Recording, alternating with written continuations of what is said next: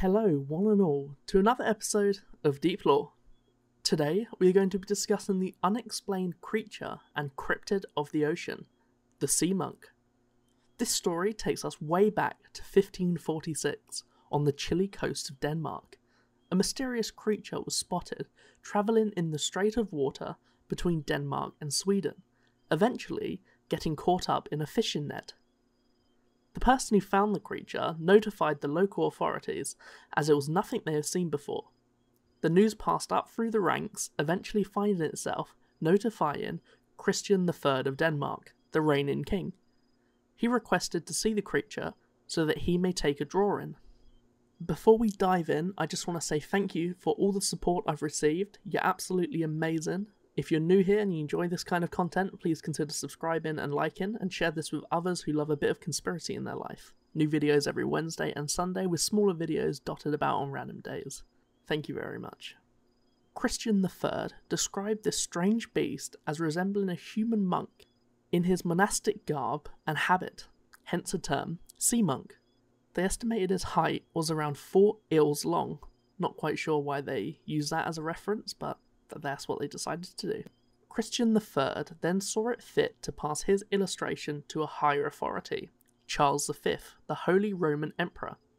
Strangely, in this very same year, a woodworker in Germany created a sculpture that is believed to be of the sea monk from Copenhagen. Perhaps this is evidence of someone requesting a model of the creature found for some sort of reference. As the years pass, the ongoing question to determine if the sea monk was a fish creature that was yet to be discovered, or if in fact it was a humanoid from an underwater city, an alien, or some sort of mix between the two. To increase documentation and research into answering the question, multiple natural history books contained illustrations of the sea monk. In 1553, Pierre Belon wrote a brief notice on what he called monkfish, unrelated to the monkfish we consume today. He believed the creature to be a merman and referenced writings of ancient mythological creatures such as sirens and tritons. He noted that he was very confident in the existence of sea monks despite never seeing one in person. In 1554, Guillaume Rondelet referred to it as the fish with the habit of a monk and also believed it to be a merman. However, he had reservations as to the accuracy of the drawings shared by people who supposedly saw the creature, this was triggered due to him seeing the drawings that his rival natural historians had, which were significantly different to his own, suspecting that people over embellished the looks of the sea monk for shock and curiosity. Guillaume believed that his image was the most authentic, as his drawing came from Queen Marguerite, who got hers directly from the same man who gave Charles V the original. However, he had some incorrect information, such as believing that the creature was first captured in Norway which was not true. Four years after Guillaume's natural history book in 1558, Conrad Gesner also wrote about the sea monk, but it must be noted that a lot of his content seemed to be identical to the other two previous historians. Conrad did, however, make the connection with an older piece of work from 1531 called The Firth of Forth, where a similar creature was found off the coast of Poland, 15 years before the capture of the sea monk in Denmark. Subsequently, post 1558, the investigation of the sea monk slowed down and people began to lose interest. There was a big popularization of the sea monk in 1581 where Guillaume de Bartas published his poem that speaks on the connection between the land and sea, referencing the presence of bishops and friars.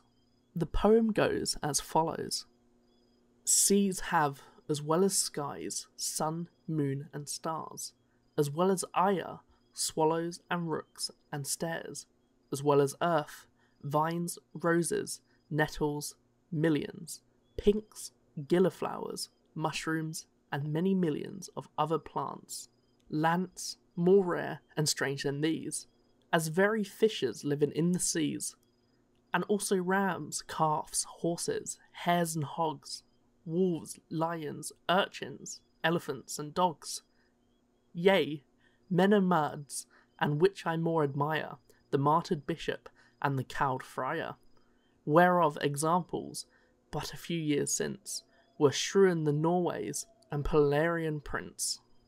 With the publication of this poem, the concept of sea monks became a lot more popular with the general population.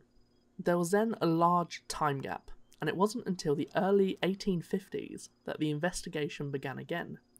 Danish zoologist Steenstrup suggested that the sea monk could have been a giant squid, and the people who found it could have seen aspects like the robe and habit that were nothing more than normal fins.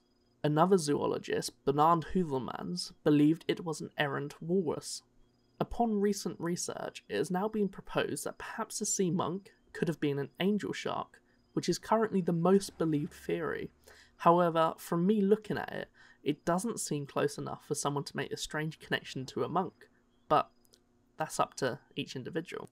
This whole mystery was built upon finding one creature, and it has caused a discussion lasting 500 years. What if there was more than just the one occurrence, and there was a whole civilization living in the ocean? This brings us to the sea bishop. First reported in the 16th century, the legend states that it was taken to the King of Poland, who decided he wanted to keep it. It was then shown to a group of Catholic bishops. The sea bishop gestured to be released, which they obliged. The sea bishop then made the sign of the cross and disappeared. Furthermore, another legend appeared in Germany in the same century, stating that a bishop was found and captured. It then refused to eat and died after three days. Could the sea bishops and the sea monks live together in a deep underwater city? Majority of the ocean is still very much unexplored. Perhaps we may find it one day. The legend certainly leaves many questions open. Why do they worship the Christian god? Where are they all hiding? Why do they come so high to the surface? The last sighting in recent times was in 2011 by some swimmers and fishermen in Croatia in the Adriatic Sea. So if this creature is real, they certainly still exist as a race. Perhaps we'll see more of them in the coming years. Thank you very much for watching this episode of Deep Lore. I hope you learnt something today. If you liked it, leave a like, and if you want, subscribe, I'd greatly appreciate it. We're going to be descending the conspiracy iceberg, and I'd love for you to come along with me.